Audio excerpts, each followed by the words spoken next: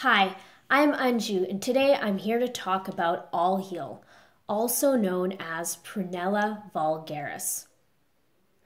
All heal is one of Galliano's woodland beauties. It is part of the Lamiaceae family, which is the mint family. It bears oval, lance shaped creeping foliage, which has one to two inch erect purple flower spikes, which appear from June through August.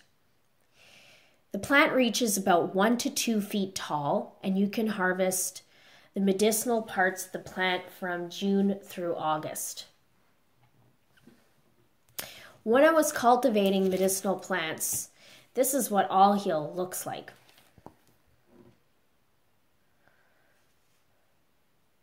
And this is a picture of the flower. All Heal is renowned for its use internally and externally.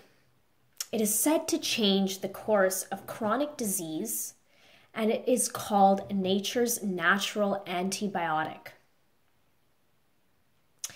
All Heal is an astringent, antiseptic, antiviral, antimicrobial, antispasmodic, carminative, and diuretic.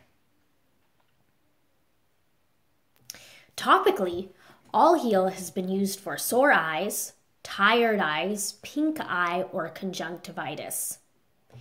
You can use the tincture and dilute it and dab it into your eye, or you can make a tea out of the plant and do the same. It is also great for wounds. It helps impede the flow of blood as an astringent. It fuses the lips of the wound together and also helps us enhance scar formation. Internally, it is used for mouth and throat inflammations, sore throat, mouth ulcers, and bleeding gums. It is a helpful astringent in case if you have diarrhea or internal bleeding. It is I also use it every, the tincture every month to curb my menstruation cycle from five days to three days. Uh, because I have a lot of excess blood flow, um, I use it every month and it is great for that. Now, the Chinese also use all heal um, traditionally for eons. They use it as a hepatoprotective which is to assist weak liver function, protect the liver, and detoxify it, which results in bright, clear eyes. So it's an excellent herb for liver support. All Heal has also they've also used it for to pull out heavy metals out of the body as an anti-cancer. They also use it in combination with chrysanthemum to treat dizziness, headaches, and vertigo. All Heal is also great to lower high blood pressure by gently widening the blood vessels.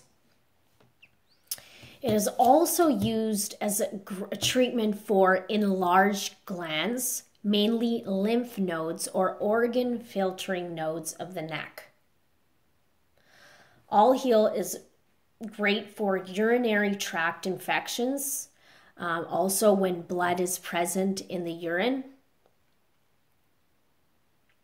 Moreover, some new research that I have came across says that all heal is great for treating HIV and herpes 1 and 2 virus. Now, why? There's an active ingredient called lignin polysaccharide, which binds to the HSV virus, which stops it from penetrating host cells. It's pretty amazing. Now, I was mentioning to you earlier that All Heal is an amazing antiviral and antimicrobial. It is nature's natural antibiotic um, it acts against a wide range of pathogens and kills pathogenic fungi. It treats Shigella and E. coli. Wow. Now, there are many chemical constituents to all heal. Some are vitamins A, B, C, and K, volatile oils, tannins, caffeic acid, bitter principle,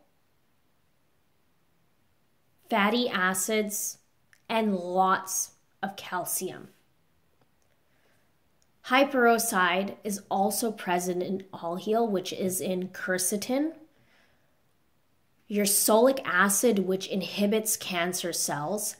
Betulinic acid, which is an anti cancer. Rosmarinic acid, which is an antioxidant. Rutin and flavonols. Now, you also might be wondering what is an Ayurvedic perspective of all heal. All heal has a very dry and light qualities. It has a very cooling effect on the body and it has all the tastes except for sour. It decreases excess pitta and kapha and increases vata if used for long periods of time. And it has an affinity for rasa, plasma rakta, blood tissue, predominantly acts on the prana, respiratory rasa, lymphatic rakta, circulatory ana, and digestive srotas systems of the body.